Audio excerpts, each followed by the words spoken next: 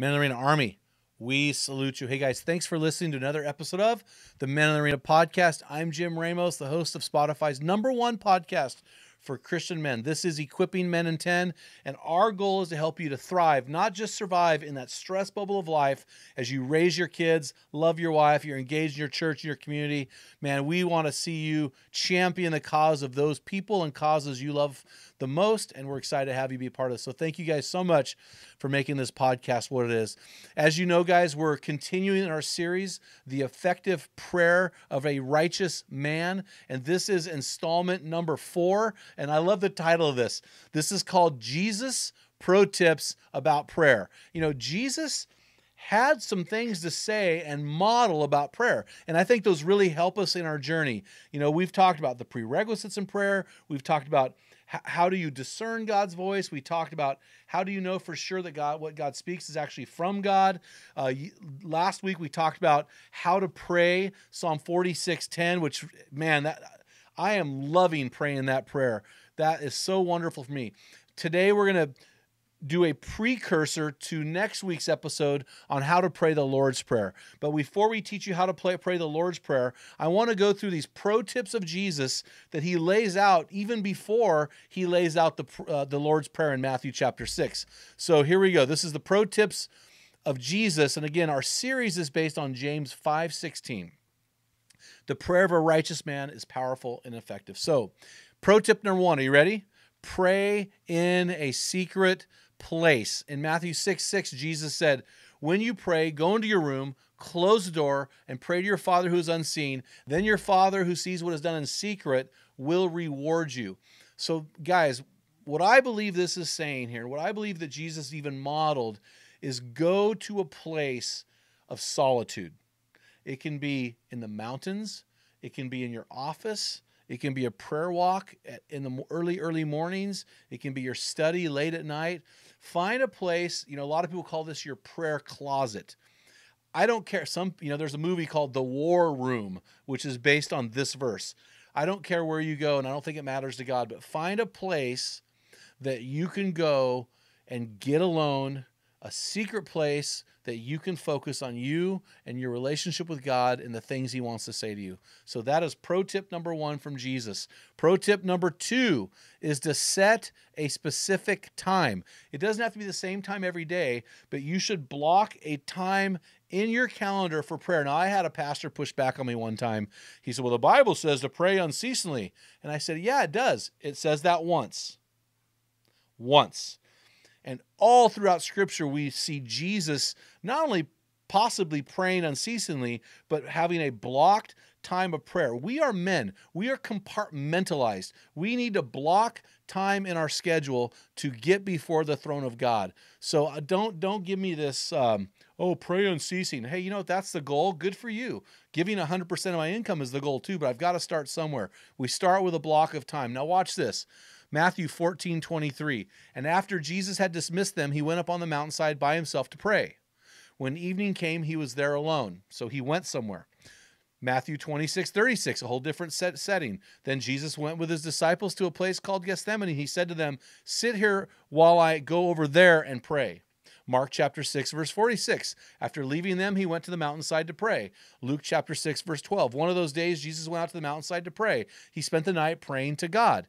So these are these are all moments where Jesus blocked time out of his calendar to pray. And so I believe that this is what Jesus is telling us. We need to go to a secret place and set time during the during our day to pray. For me, that block of time is 10 o'clock to 11 o'clock in the morning.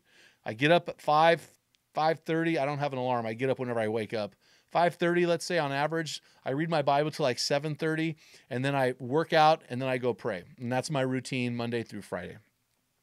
But I want you to note two things here about prayer. There are two things that Jesus did in these settings I think will really help you. Number one, he was always alone when he prayed, like in that setting, and he prayed almost always in the dark. And I believe that he prayed alone and he prayed in the dark to remove all sensory uh, distractions from him so that he could truly hear from God. And I could not stress this more. Praying while you're driving, praying in a crowd, I mean, those are fine. They'll get it done. But if you really want to have effective prayer, you really need to be alone.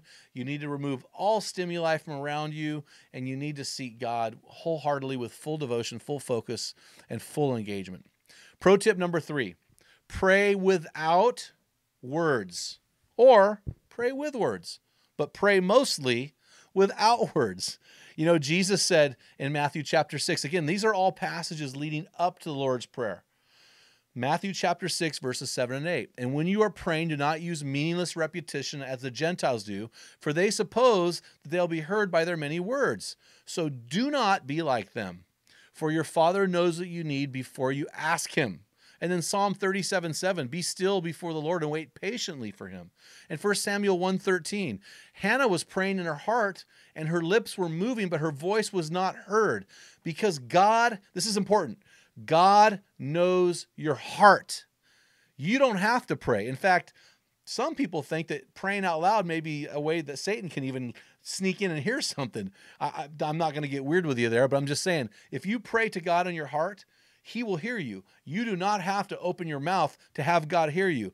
Uh, Psalm 27 14, Psalm 41, Psalm 135, Isaiah 30 18. Over and over again, we see situations where God hears our heart. And so we do not have to be stressed out about using all these words.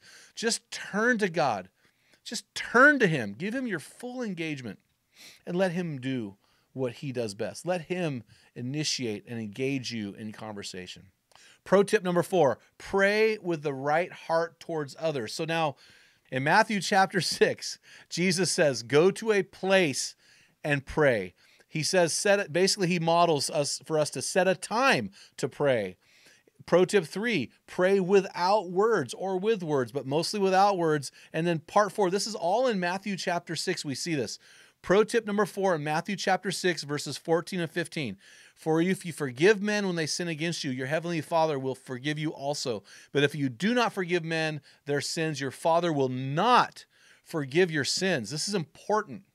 In 1 Peter 3 7, Peter affirms this for husbands. He says, Husbands, in the same way, be considerate as you live with your wives and treat them with respect as the weaker partner and as heirs with you in the gracious gift of God, so that nothing will hinder your prayers. And you know, guys, I got to tell you, there was a point in my life I'm not proud of where I had a certain person I was in bondage to, and every time I saw their car drive by, I would literally cuss and say that little, and I would say something and I was just in bondage to this person. And it really hurt my prayer life until I began to break free of that and been, began praying for that individual and allowing God to knock that stuff off of me, that chip off my shoulder, so I could have the freedom. And the, the just a situation happened about two weeks ago. A guy came up to me and said, "Hey, do you know so and so?" I said, "Yeah, I do know so and so." Oh, well, he said he would never join any ministry you're part of. And I was like, "Really? That's really weird." We had a meeting years ago and I confronted him on his bitterness and he became bitter because of it. And apparently he's still bitter. And sadly, that's on him. He, he needs to approach me if he's bitter and say, Hey man, I'm bitter towards you because it's hindering this guy's prayers. And I don't know and didn't know about it. And quite frankly, I don't care. And so um, we, when we are harboring something against somebody else, we can't expect God to hear our prayers. When unforgiveness and bitterness capture us, that person, that person literally owns us. They own us. So, what does Jesus teach us about prayer? Well, he teaches us to go to a secret place and pray. Pro tip one. Pro tip two, he teaches us to pray during a set time. Pro tip three, he teaches us to pray without words or words if you have to. Pro tip number four, he teaches us to pray with a right heart towards others, not being in bondage to anybody else through unforgiveness. So I hope this helps you guys. Make sure you head on over when you when you can to our website at meninthearena.org. Grab your free copy of my book. Tell them what great fathers tell their sons and daughters. While you're there, guys, it's time to move from an engaged follower to an active participant click that join our program button now. Get involved in one of our many national teams. These are led by volunteers just like you. Uh, man, you're going to love these guys. They are so deeply committed to Jesus. These are men's men. You're going to love these guys. Until next time, feel the wet sand on the arena floor. Hear the deafening roar of the crowd. Taste the sweetness of victory. Smell the stench of battle. Get in the game. Get dirty. Grind it out. You've been listening to the Men in the Arena podcast. If you hunger to be your best version, then join thousands of men from around the world in our Men in the Arena forum on Facebook. This is the best place to have open discussions around the topic of biblical manhood. Make sure to explore our website at meninthearena.org, sign up for the weekly equipping blast, and take advantage of our many free resources designed to help you become your best version of a man. Thank you for listening to this episode of the Men in the Arena podcast. Remember, when a man gets it, everyone wins.